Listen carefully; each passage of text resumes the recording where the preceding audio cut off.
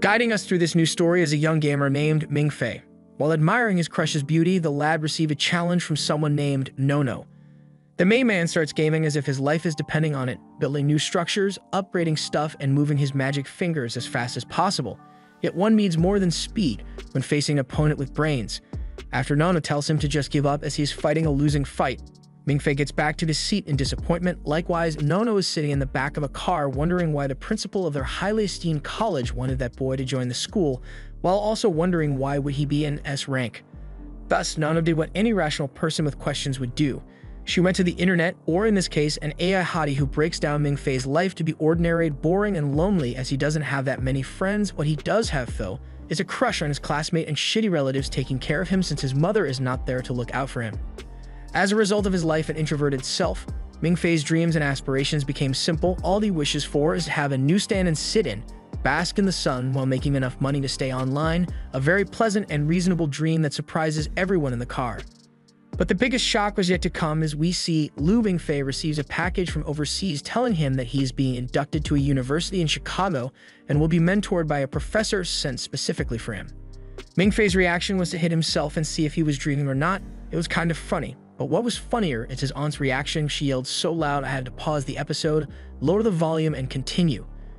As the family rants about how a loser like Mingfei wouldn't be considered to enroll in such a thing, a helicopter crashed the apartment, men stormed out of it, and a tall, good-looking fella stepped out, put a cape on our boy, and bowed before asking him to go with the squad, making everyone stand there looking stupid.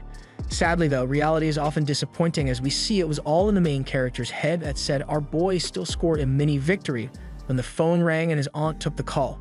Everyone soon realized the university thing is for real, for real, and they are requesting to see Mingfei tomorrow at 9. Hence, the next day at top of the morning, Lu Mingfei headed to the hotel where the meeting is taking place only to be taken back when he sees his classmates waiting for the meeting. They talk some crap, but the main man doesn't mind it. All that is occupying his mind is his crush looking all nice and fancy. She goes next and finishes the interview fast. She tries to give Mingfei heads up about what's waiting for him, but a dude blocks him. When the main man steps inside the room, he is startled by golden eyes looking at him. Luckily, the guy catches him in time. The couple asks Mingfei the first question and he freaks out because do you believe in aliens is not how a normal interview goes, but he still answers in the most ridiculous way. Sure, I believe there must be aliens. Sadly, they asked him to speak normally, which he did when answering the rest of the ridiculous question. Yep, they kept them Reddit questions coming one after the other, till the main man entered his first existential crisis, and after a talk with his inner dog, Mingfei decided to call it quits and leave the interview. The professor then arrives mad about how his pupil didn't try their best to recruit slash stop the main man from leaving. Speaking about the bottom Rizzler, he has scored not a date, but a hangout with his girl during her goodbye party in the literature club, which prompts him to consider staying home on the off chance he marries the girl, but then home team struck and told him he is going elsewhere. Turns out the professor has invited the fam to a fancy dinner at the hotel in hopes of convincing young Mingfei to enroll in university, and right from the start, the prof cuts no corners and shows his utmost interest in the kid and the kid alone, ignoring the uncle and pandering to his aunt Cash Love. However, Mingfei still wonders why the professor wants him as he himself doesn't see anything special about him, but the prof argues otherwise and hands him a letter from Mingfei's parents who were esteemed students in the university. Stunlocked, Mingfei runs to the bathroom and reads how his mother talks fondly of him asking that the uni takes care of her smart promising boy while she and his father are away continuing their important research, before ending the message with I love you. Reading this, Mingfei broke into tears on the bathroom floor, which turned out to be the women's restroom floor as the redhead pointed out, making the walk back to the table even more embarrassing. When they arrive back, the prof intrudes her to be Nono. Mingfei recalls the name but doesn't draw any connections with the Nono he faced in the game. That was until she reminded him of the line, give up you being beaten by a level 2 base. All these events overwhelmed our boy, who is now considering staying in Japan, freaking everyone sitting at the table, but no no. You see the main character suffering from a severe no BS syndrome, and he simps for his crush so hard, he is willing to say goodbye to his future before it starts just to stay by her side, and the redhead knew that. So later at night, she went to the rooftop where our boy is to talk some sense into him and persuade him to join the university. Seeing his hopeless state, she starts berating him for his lack of initiative before leaving him with advice about how loving someone means going all out for them even if it meant to be embarrassed. Thus, the next day, Ming picks some flowers for his queen and goes to the cinema, where everyone is gathered. Two background characters tell him to change his cloth into a suit to be more formal, as the queen wanted it to be like that. When our boy gets out all suited, he gets ridiculed by his classmates. But like the last time, his mind is on the prize, and so he steps on the stage ready to confess his love to everyone. But suddenly, the chabby backgrounder character stops him saying, It's not your spot, I'm supposed to say I, before revealing that the whole gang gathered to witness another guy confess for Mingfei's queen, who, by the way, put him on the stage knowingly he liked her. This made our boy question his existence during a dialogue with his inner self. Luckily, a ray of sunshine appeared from nowhere to lighten the dark time Mingfei is going through. Calling him Ricardo, which is the main character's name in the game if I'm not mistaken, Nono came with her glam squad to give the main man an upgrade makeover and save him from the hose trap in style. It is revealed that Nono has looked into the Queen's messages and found out about the confession, so she stepped behind to save him.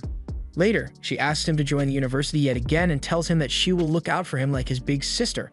Realizing he has no other path in life and no one to care for him, Mingfei decided to embrace the unknown and make accept the offer. Yet, like all stories, the road to the top starts from rock bottom, just as how we see Ming Fei being called a beggar when asking the guard for the CC train line at an airport. Yep, even by anime standards, a train in an airport is just downright stupid, so it wasn't a surprise when every background character called the main man a bagger. But Ming Fei kept fighting back till a random guy asked for money, then he played the poor card. The man kept trolling Ming Fei till he saw the university card, realizing this kid is his new underclassman. Fingel played it cool and took him in as well as took his money. At night, when the airport closed, Fingel explained that no one knows about the train as it is hidden from the public as well as the school, which is located in the mountains and has no other way to get there but through the train. He also adds, if your rank is high, they pick you up as soon as possible, but if your rank is low, you wait for the train, and they pick you up whenever they feel like it. In other words, Fingel rank must be the lowest of the low as Mingfei points out.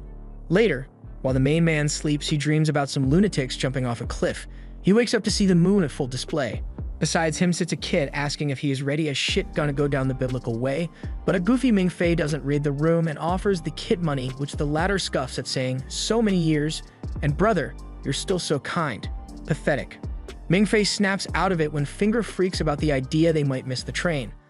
A guy looking like he's straight from The Walking Dead, rings the bell and checks for the passengers waiting on the train. He doesn't bat an eye when Fingel walks up as the guy is in F rank, the lowest of the low. But when Ming walks up, the man turns from a zombie state to a demonic state, realizing he's in the presence of an S rank. Fingel joins him, and Lu Mingfei joins them after realizing he could have called the train whenever he wanted and there was no reason to wait, as it would change course and drop people aboard just to pick the S rank which gets proven true as soon as Mingfei swaps his car, the airport activates and the speakers announce the trains is coming in hot to pick the S-rank Lu Mingfei.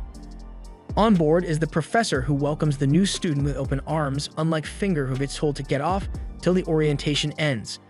First, the prof hands Mingfei a non-disclosure agreement, and then he proceeds to explain to the young lad how their school differs from the quote-unquote normal ones. To put it shortly, the university studies dragons to slay them. Upon hearing that Mingfei gets shocked as if he's having a meltdown, but as the prof continues, Mingfei switches to thinking that the guy who is talking to him right now is a crazy person, and the university he speaks of is nothing but an asylum. Suddenly, the lights go off and a pair of golden eyes appear from the dark. It's that kid again. He came to confirm what the professor is saying and even put on a visual demonstration about what happened in the past between a mighty dragon and a group of people that went to slay it. Later, Mingfei opens his eyes as it seems he has passed out after hearing that dragons exist, that said the main man still doesn't believe it, so another instructor arrives with a case that contains a dragon scale. They tell him to shoot, which he does knocking his ass in the process. The instructor questions if Mingfei is the real deal since S ranks are supposed to be tough psychically. Also, he wouldn't be out of pocket if he questioned his mental toughness too, as the main man still doesn't believe in dragons even after showing him his sleeping red dragon cub. Mingfei brushes it off as an animatronic. Suddenly, the dragon opens its eyes and starts headbutting the container and trying to create fire, but the container tech proved resilient and the dragon went back to slumber.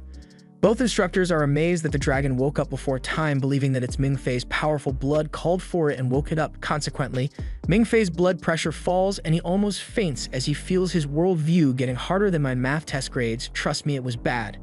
Mingfei asks if he can drop out now, and the professor tells him he can, but if he does, his memories will be erased, so the young lad decides to give it a couple of days to make up his mind. When they enter the college campus, Mingfei notices the ground is empty. The professor freaks out, realizing he might have forgotten an important event. Suddenly, sirens are triggered and a sniper starts shooting. The empty campus grounds turn into a shooting field, and the pair rushes to a pillar to hide behind it. But sadly, it isn't big enough to cover the professor's thick ass. His last words were, Don't forget to pick my class. Truly a teaching role model. However, Mingfei doesn't give a damn about no class. He just doesn't want to die in the crossfire between two factions, who both have snipers shooting the opposite team's members left and right, and the fight raged until no one left standing. A voice calls for a guy called Caesar, asking if anyone on his side is left, to which he replies, It's only me and my sniper. Likewise, Zihan confirms he is alone and his snipers are left standing on their side, so the man suggests for them to end it with an honorable 1v1 showdown. And oh boy, what show they put. The choreography was so fluid, what started as a ground battle evolved into an air fight, the pair were going god mode tearing through floors and sides of buildings. Meanwhile, Ming Fei is standing down there looking up like a background character that gets no maidens, but then his new queen came flying down from above, yet his happiness was short-lived as the black team's sniper was behind him with a clear shot on sight.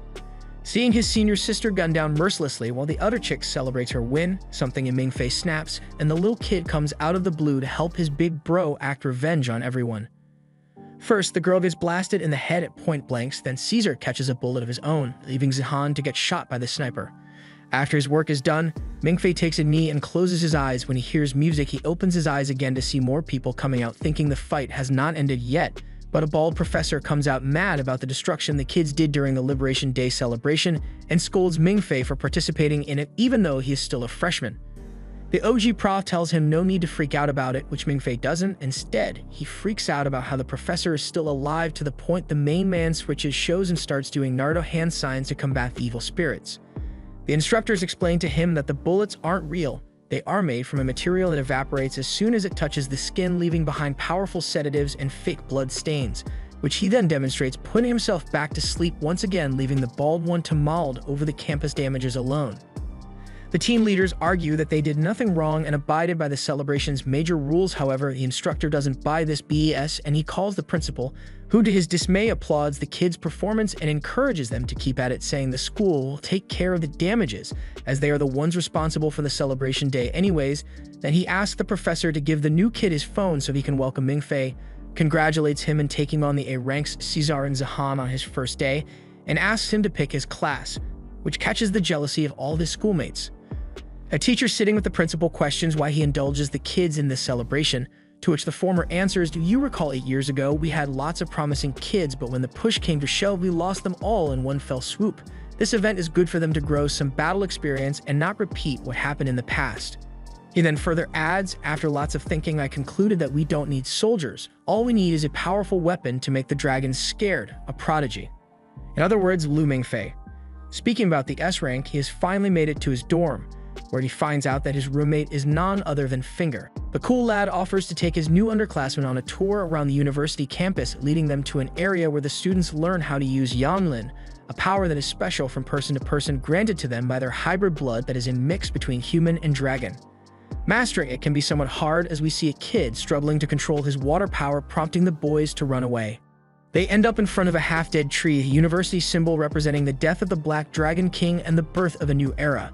The professor catches up to them. He is looking for Mingfei to undertake a test. The test is to see how he will resonate with the Black Dragon King's call.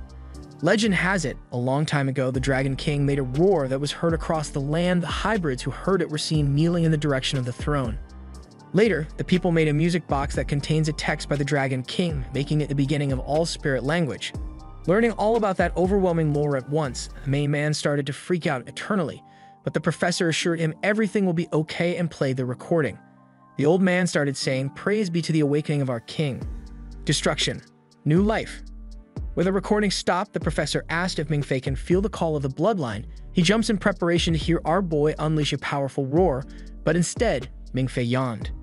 The main man comments that he didn't feel a thing, just got sleepy waiting for something to happen. The professor couldn't believe it and started theorizing why this happened since no Dragon Raja can resist the call of the Dragon King and after lots of thinking, he comes to a shocking conclusion prompting him to leave the room. Meanwhile, Fingel gets to work and breaks the news about what happened on the campus news site. He is the chief editor of the site. The situation got Mingfei feeling down since the upcoming test is all about hearing the voice of the Dragon King and writing down what it says. But Fingel tells him no need to worry, he won't go back home as he has his back. In other words, he has the test answers. Elsewhere, the student union led by Caesar is discussing their upcoming activities. Nono breaks the news that the S rank doesn't resonate with the Dragon King call, shocking everyone. Outside, the professor is doing some cardio and calling his colleague to drop everything he's doing and meet in the library. Zihan is one of the few people with the highest purity of dragon blood in the academy. Ordinary half-bloods don't even dare to look at him. But Ming Fei dared to shoot him, so his pedigree must be fine. Professor A tells Professor B while uncovering some papers from the old times that talk about a white dragon king equal in power to the black king. Legend says the White King's rebellion was the biggest rebellion in the history of Dragon Raja. His bloodline is said to have been buried with him. Therefore, Mingfei not resonating with the Black King and being possibly the first example of the White King's descendant is a huge find, one that should be subjected to study. However, Professor A doesn't share this sentiment with Professor B and wishes not to put a gentle kid like Mingfei under examination like a lab rat, so the two professors make a deal. If the kid passes the exam, then Prof B will leave him be, but if he doesn't pass, then he will report it to other parties and fight for him to be treated in the most human way possible. Later at night, a shadowy figure is seen talking to the AI, who seems to have a dual personality, asks for the new freshman to pass the exam no matter what the AI accepts, and they share an interesting moment. The next day, Mingfei heads to the exam room where other students are gathered. They become confused since the test papers are blank, but Mingfei stays calm knowing beforehand that the test is to write what they see during a hallucination induced by the Black King voice. When the test starts and the voice is played, the kids lose their minds and start doing goofy shit. While Mingfei writes down the answers on his wrist and observes the girl beside him, the only one to not lose her mind beside him. That said, it was just a matter of time till our boy started to see things too, and by things we mean his little bro, who introduces himself as Lu Mingze, which is also Mingfei's internet catfish name. Hearing this, the main man cringes and asks the kid how he knows, so the kid explains that they are currently in a psychic vision, where everyone can see the deepest hidden things in their heart, which is also the reason why the Mingfei is seeing the kid. But don't worry, the main character is not into young boys as he too wonders why he's seeing the kid. Mingze continues to talk poetically, but the main man is too stupid to understand, so they go back to class, where the kid sheds a tear and then has a dramatic scene with him, which gets cut short when the redhead wakes up Mingfei, telling him he has slept for an hour past the exam, and teases him about the fact that the test only has eight questions, but he wrote nine answers. Back in the dorm, the boys talk about what classes they are gonna take. Fingel points out that the class his boy is going to take is currently paused since the instructor is away on a mission. The mission is being held overseas where they manage to locate the Bronze City by the power of Yanlin that one of the students possesses. Suddenly, the area got struck by an earthquake, cutting the communication briefly between the duo and the ship. The instructor reports back to the headmaster, I, and the principal, who gives him the authority to use a key so they can access the city, and by key, they mean a baby with a very high purity blood higher than the A rank Zihan. The instructor gets geared up to take the kid to the gate of the Bronze and Fire Dragon King Palace. After catching up with the students, the prof hands the kids a new lifeline and tells them they only have two hours to work with. They get to work immediately. The professor uses his power to create a void for the baby, to use his pure blood and get a key to the other side. When the baby starts crying, the prof puts him back to sleep and gives orders to the students to go in and look for Norton's, the fire dragon king skeleton. But if they could not retrieve anything or find anything, then they must blow the city. As soon as the professor leaves, the water comes rushing in and the duo enters through the gate hand in hand.